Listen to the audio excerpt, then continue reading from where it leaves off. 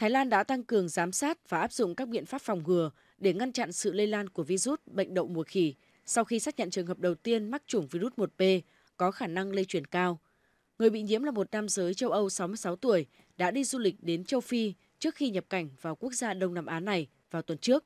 Đây là trường hợp đầu tiên được xác nhận mắc bệnh đậu mùa khỉ nhánh 1B ở châu Á. Theo Trung tâm Kiểm soát Dịch bệnh của Thái Lan, người này đã được cách ly tại bệnh viện.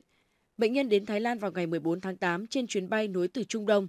CDC Thái Lan cho biết các quan chức đã cử một nhóm để truy tìm và theo dõi 43 cá nhân có tiếp xúc gần với người này. Ngoài Thái Lan, các quốc gia khác ở châu Á cũng đã báo cáo các ca bệnh. Pakistan và Philippines đều đã công bố một trường hợp mắc thể hai nhẹ. Vào thứ Tư tuần trước, Tổ chức Y tế Thế giới WHO đã tuyên bố bệnh đậu mùa khỉ là trường hợp khẩn cấp về sức khỏe cộng đồng, gây quan ngại quốc tế, báo động về khả năng lây truyền toàn cầu của bệnh này. Dữ liệu của WHO cho thấy trong 6 tháng qua, châu Phi là khu vực bị ảnh hưởng nhiều nhất với hơn 3.000 ca mắc và 23 ca tử vong được báo cáo.